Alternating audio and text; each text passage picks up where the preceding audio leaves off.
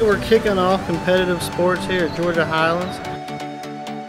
Georgia Highlands is a great school and they offer multiple different things that you can do. But it's just an awesome opportunity um, for a, such a small school like Georgia Highlands to join a, a, a team and do what we love.